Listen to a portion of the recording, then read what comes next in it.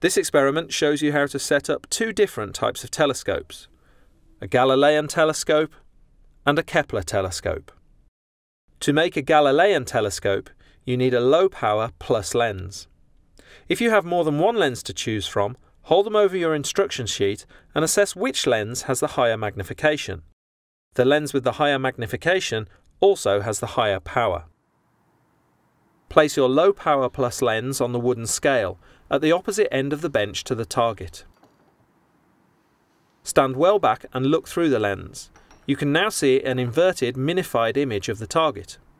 Since the target is not a light source sending out light rays, we cannot simply put up a screen to visualize the image, so we use a pin instead as a stand-in object to reflect the plane where the image is formed. To find the correct place for the pin, observe the image and the pin while moving your eye line slightly right and left. As long as the pin and the image do not move to the same side and at the same speed, appearing to be interlocked, you need to adjust the distance of the pin from the lens.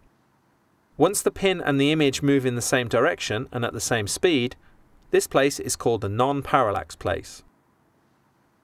Once non-parallax is achieved, take a high power minus lens from your tray, place it between the pin and the lens and remove the pin.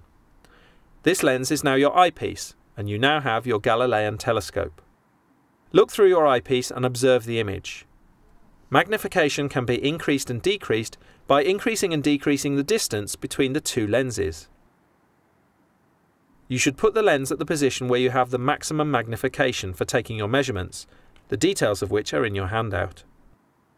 To set up your Kepler telescope, do the same as with the Galilean type, except with a high power plus lens as your eyepiece.